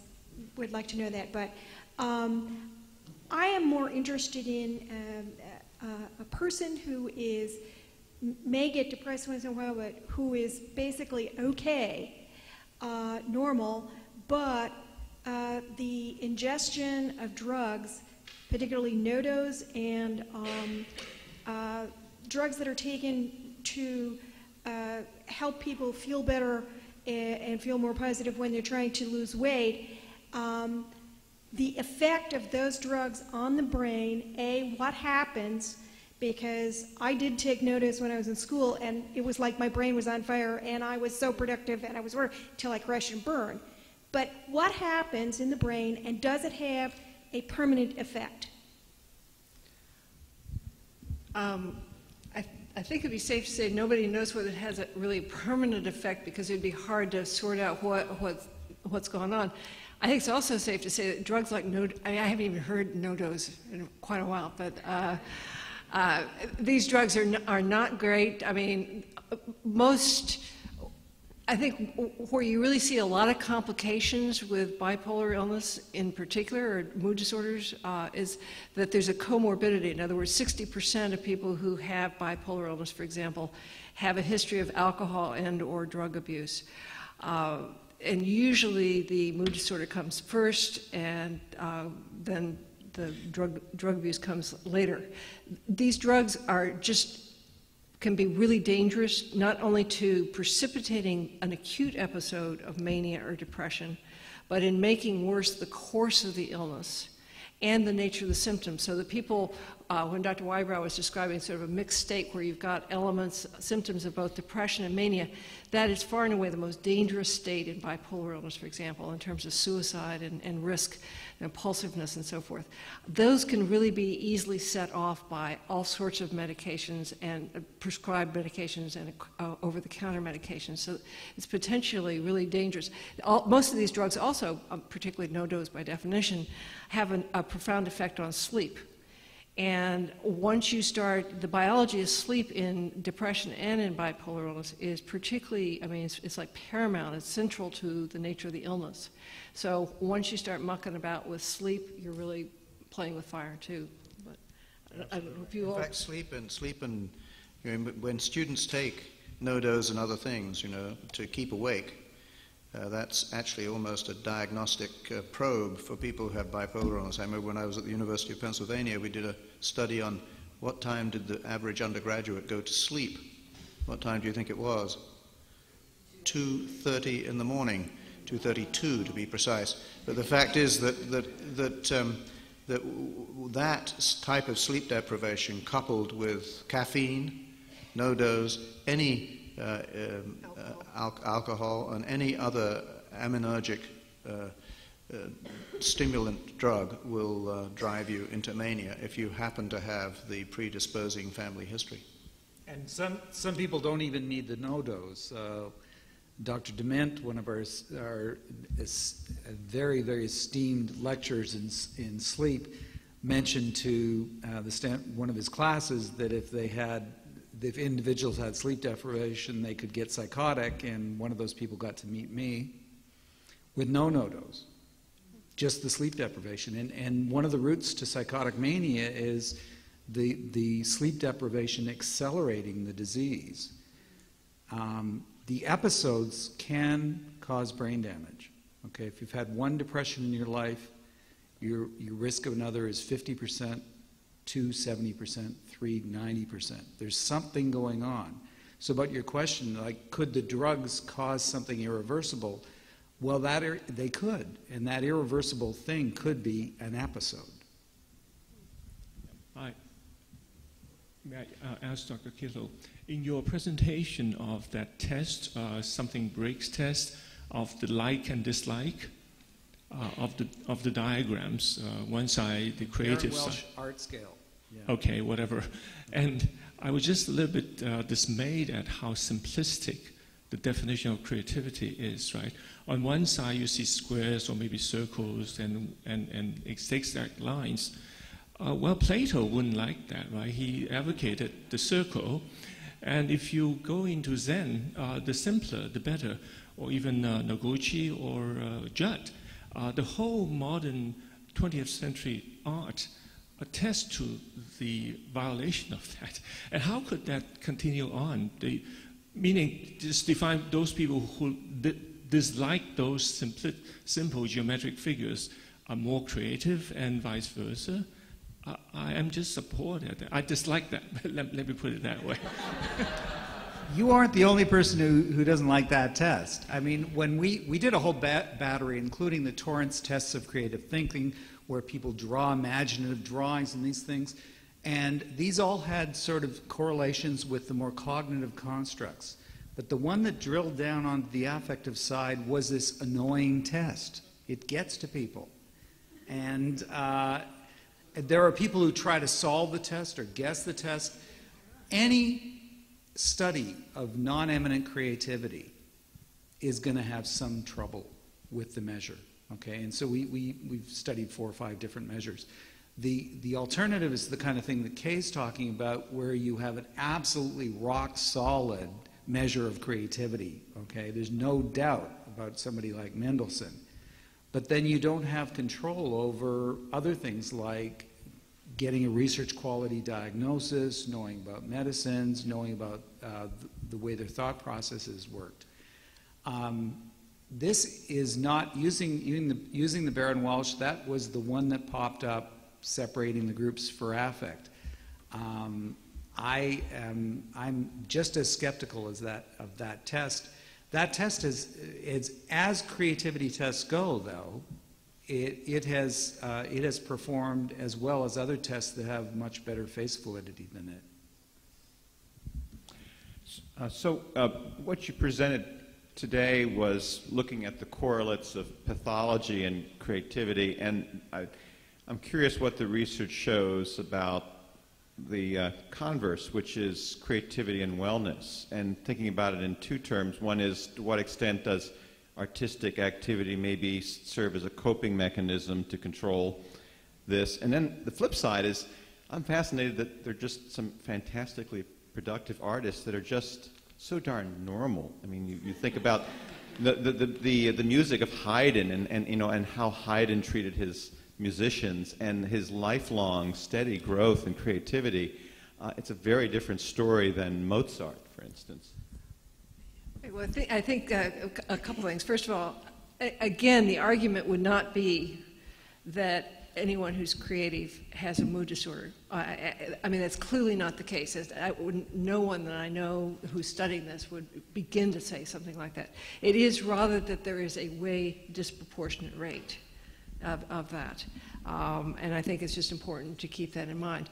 Uh, there are a lot of people who have addressed the question that you ask is there something about doing art, as it were, that is uh, binding, that is helpful, that, that keeps people together in a way that they would not otherwise be. And many, many artists and writers have addressed that. Anthony Storr, the um, late English psychiatrist and uh, psychoanalyst, talked a lot about that uh, aspect in his, his book on uh, uh, the psychodynamics of creativity. But Robert Lowell, Virginia Woolf, I mean, it, you name it, individual artists have said, if I didn't have my art, I would be even madder than I am.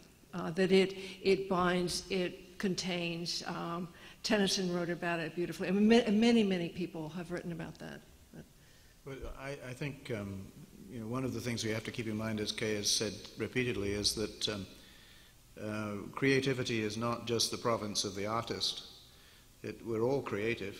Uh, as I mentioned, uh, every time you uh, make a sentence, you're being creative. And I think that we have tended to narrow the definition of creativity to people like Mendelssohn, who are obviously several standard deviations from, from, the, from the mean.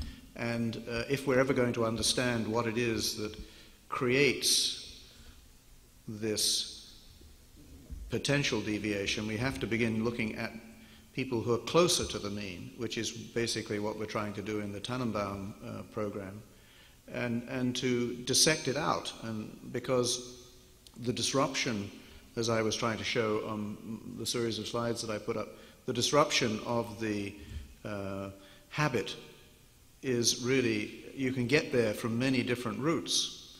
And so it could be that, in fact, solitude will allow you to disrupt habit just by, just by in fact, when I write myself, I've discovered that um, I need, if I want to go to sleep, I let myself go to sleep, and then I will uh, wake up, and a few uh, minutes later, I might have the solution to the paragraph that I couldn't write before I went to sleep. So, in fact, I think creativity is, is, a, is, is something that is within all of us, and we probably will learn more about it by coming closer to the norm than we will by trying to study only people who are extraordinarily gifted, such as Mendelssohn and so on. Final word is that, of course, it's not just in the arts, as, as, as, as Kay has pointed out.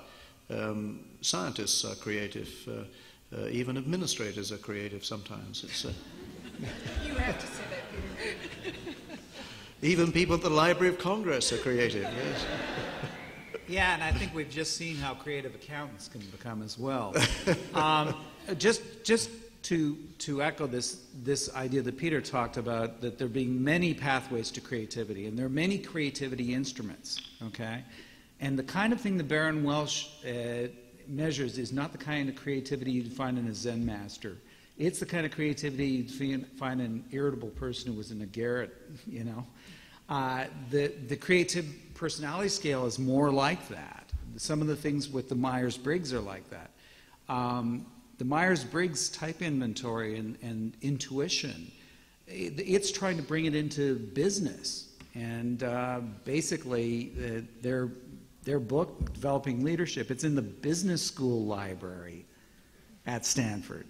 So, I mean, it, in the whole Bay Area, there, there, there are a lot of lot of notions about collegial creativity. Uh, um, the, the class that we hold in creativity, each year we, we have 12 students, and uh, four are from the arts, and four from uh, psychology, and four from neuroscience. The idea of bringing disparate groups of people together for a creative collegial process. So this is, this is a lot bigger than one little figure test or, or pathology. This is something that in fact can be one of the engines of our economy even if we find ways to generalize it into healthy human activities. So your point is very well taken. Um, um, yes, the, the term seasonality was on the screen. Uh, is this distinct from seasonal affective uh, disorder? Uh, does either of these play a role in uh, either diagno- diagnosing uh, illnesses or sparking them? Would you address this, please? Sure. Seasonality is certainly related to seasonal affective disorder. Seasonal affective disorder refers to generally depression, um, not always. People often having a fall depression and then lightening up or becoming hypomanic in the spring, although there are all sorts of variations on that particular theme. And it is a particular diagnostic um, category in a, way, in a way developed uh, mainly by Dr. Norman Rosenthal and his colleagues at the National Institute of Mental Health. But it's really based on the fact that we've known for, we are basically mammals first and foremost, and uh, mammals are enormously responsive to light. And we know that moods and energy are tremendously beholden to light. And so if you look at patterns of everything, of I'm sure uh, Dr. Whybrow could talk in, in, great detail about, particularly, for example, thyroid, cholesterol, serotonin, almost anything that goes on that's important in the brain and the body is seasonal, has a seasonal pattern to it. We know that hospitalization rates for mania are very seasonally dri driven in the summer and the late fall. Suicide, there are over 100 studies of suicide showing a tremendous peaking, spiking of suicide in the late spring and early summer months. I mean, so uh, we know treatment rates, for example, for electroshock therapy, which is an index of actually severity of depression, we know that there are very strong seasonal peaks in that for hospitalizations for depression. So these are, in fact, yes, very seasonal. Yeah, I once wrote a book about it actually called The Hibernation Response. And Kay's absolutely right. This was when I was living in northern New, Eng- northern New England and teaching at Dartmouth. And we, we uh, everybody, uh, everybody there gets completely miserable in the winter. And, yes, that's right. They call it the, they call it the cabin blues or something. And, but anyway, we studied normal people uh, over a seasonal variation, a whole year. And the interesting thing was that peop- normal people sleep longer in the winter when you're in, uh, in, the, uh, in the north, and they gain weight. So, you know, one thing out of that is if you ever want to start losing weight, don't try in November. Try in March because you'll have a much better success and you'll think you're really doing very well. The, the, the, the, the other thing is that uh, um, reproduction, even in human beings, is still seasonal.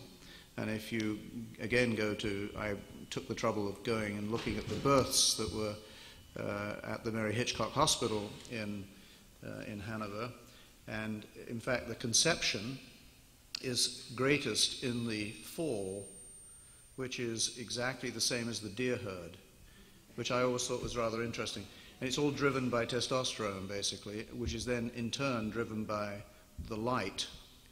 But I've always been grateful that we don't grow antlers like the, uh, like the deer, because if we did, you know, just imagine what traveling in the fall would be like on the aeroplanes. You know. But so no, there's human beings are mammals, and we definitely have seasonal variation, as, as Kay was saying. Uh, maybe two more questions. Um, what is I have the... a question over here. Um, all right. I have a, a, friend who's in a nursing home. Um, she's a former beauty queen and newspaper columnist. She now has a rare form of Parkinson's disease, avuncular something or other, which is caused by the lithium she has taken over her lifetime for bipolar disorder. And um, is there any word of solace you can offer someone like her? She, she said, why couldn't they just medicate me and keep me sedated during my bipolar periods so that I would live through them to see another day and I wouldn't have to go on lithium and have this terrible disease? She has a Stephen Hawking situation where she can type with one finger and that's it. She can't talk, she can't walk, nothing what, what words would you offer somebody like her? Is this going to improve into the future? She's 63. Well, I, I, go ahead. I was going to say, that first of all, you can't be sure that the lithium caused her Parkinson's disease. You can look at Merck the, the Manual fact, the and fact it is, says it. The fact is that occasionally you will get basal ganglia um, uh, disruption when the person has been exposed to very high levels of lithium because they did not, you know, they were not monitored properly. But that's, a, that's very rare. i am sure Dr. Ketter is the same. I've, you know, and, and K2, I've, uh, I had the first IND in America in, in, in northern New England to, to actually use lithium back in the early 70s, and actually it's an extraordinarily safe drug. And although you may see occasional things like this, it's highly possible that they are running in parallel. The interesting thing about lithium is, on the other side of the coin, it actually is neuroprotective. And the, one of the interesting things is you rarely see anybody with Alzheimer's disease who's been taking lithium. So it's, uh, it, I, I think that story needs to be looked into very carefully. In terms of the individual and the tragedy that she faces, uh, then there are various things that could be done, but I'm not sure that one should blame lithium and then generalize it. Yeah, I was going to say, I mean, because one of the things about lithium, one of the advantages of lithium is it's been used for more than 55 years in hundreds and hundreds of thousands of patients. So we have more than any drug in psychiatry, really, more data on what are the adverse long-term effects. And there's next to no literature on that suggesting that that's a problem. And, and uh, what Peter was suggesting is that there have been recent studies that we know that before lithium existed, that people who had bipolar illness had increased rates of all the dementias, um, Alzheimer's and, and other dementias.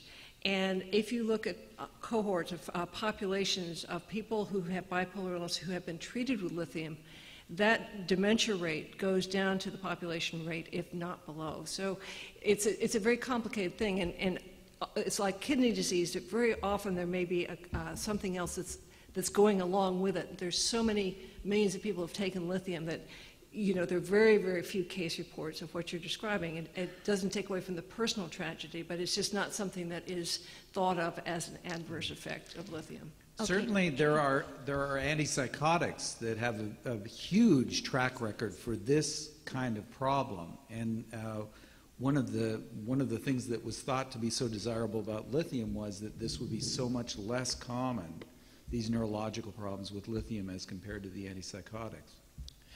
That actually tracks to the question I was wanting to ask, which is um, I know that in addition to lithium, there are other drugs that are being marketed now for bipolar disorder, namely lamotrigine. And I'm wondering what, if there is a consensus among you, what the preferred uh, pharmaceutical approach would be in conjunction with psychotherapy as a way of managing bipolar illness, but not quashing the creative side of it more than is necessary, and also uh, whether there are sort of alternative medicine approaches like meditation um, or uh, Eastern European approaches that are, sorry, uh, uh, Eastern Asian approaches that are being looked at in addition to just uh, psychotherapy with more traditional meds.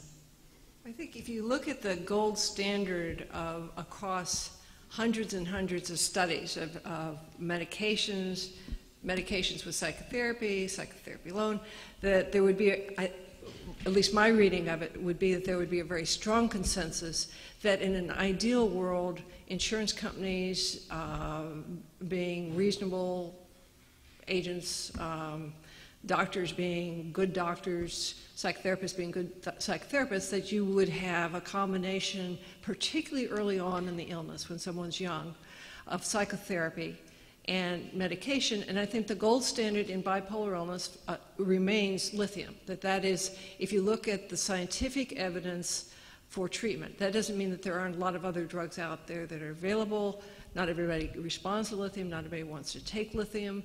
But if you actually look at the gold standard for treatment, it, I think it still would be lithium. Uh, in terms of alternatives, I mean, we know that there are certain certainly foods and uh, everything from you know I, I, think of as kind of the Kodiak bear diet, which is eating salmon and, and eating lots of blueberries, lots of exercise. I mean, all these things you know can't help but but help. Uh, meditation is is good up to a point as long as you're doing it the right right time of day. When I was had a practice in Los Angeles, a lot of people meditated.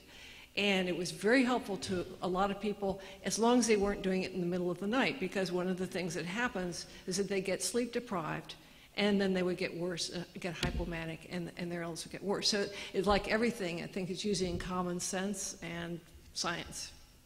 Yeah, I, would agree with that. When at the University of Pennsylvania, we ran a clinic for people who had the most malignant form of the illness, that is, rapid cycling disease. And I was told at the beginning that I, would, should, I was a fool to do this because they would constantly be plaguing me, these poor persons, and they would constantly be in the hospital. Turned out not to be true. And one of the secrets to that is what Kay was talking about and what I call essentially mental hygiene. In fact, if you begin to regulate your life in a way that, um, and as people, as people learn about their illness, you know, the, uh, the best person to take care of oneself is oneself, after all. As one learns about one's illness and one learns what are the triggers, staying up too late, taking too much caffeine, taking any caffeine at all in the case of this partic- these particular persons, um, making sure you don't take uh, Sudafed when you get a cold. These are the sorts of things that once you begin to understand them, that they can bring things into order. And there's, there's absolutely no doubt that exercise, meditation, certain diets, all these things, if they're put together in a, in a common sense way, as, as uh, Kay was saying, can be an adjunct to the use of wise counsel and uh, medication. And I too would start with lithium, although in some instances it's particularly helpful for people who have the classic form, which is severe mania followed by depression, then a free interval. But persons who have bipolar 2 and have other more complex mixed states, sometimes the, the more recently invented uh, antipsychotics can be helpful. Um, I'm sure Dr. Ketter uh, is more au courant with the latest on that than I, but I think that it's, it's a thoughtful approach which includes the participation of the person who suffers and the person who has the medical knowledge and everybody around them, the family and so on and so forth, which keeps these illnesses stable. So you have the wisdom, though, don't you? I do this all day, every day. Yeah, and have a book coming out this summer: Ah. Clinical Manual of Bipolar Disorders, American Psychiatric Publishing. Set you up very well. With Yeah, that. it is Oh, great yes, to you. right, yes. Um, and in this, actually, it does an analysis of. There's this movement called evidence-based medicine that everything we do ought to be based on knowledge from randomized controlled trials, and every FDA-approved treatment beats placebo by at least 10%. That's good news. Bad news is that it's by at most about 30%. And so you can calculate something called number needed to treat, which ends up, it's the number of people you have to treat to get one additional good outcome. And for most of our interventions, it is in single digits. Okay? It, at least a 10% benefit. Um, problem is that often it's four or five, and maybe that's why patients need four or five interventions. And the kind of interventions you're talking about, the, the randomized controlled trials of adjunctive psychotherapies, the effect sizes were similar to the drugs. This is one of the best kept secrets in bipolar. They, that they worked as well as the drugs. Um, But this- they don't work without the drugs. It's all a combination. So- yeah, so this is, this is, I said adjunctive, okay? Yeah, So right, it, if you try it without the drugs, it, it seems like the drugs are in some way the foundation. But the Systematic Treatment Enhancement Program, largest study the NIH did on the treatment of bipolar disorder, had two depression studies. One was adding antidepressants to a mood stabilizer, and there was no additional benefit. The other was adding intensive psychotherapies to mood stabilizer, and it worked with a number needed to treat that was signal di- single digits.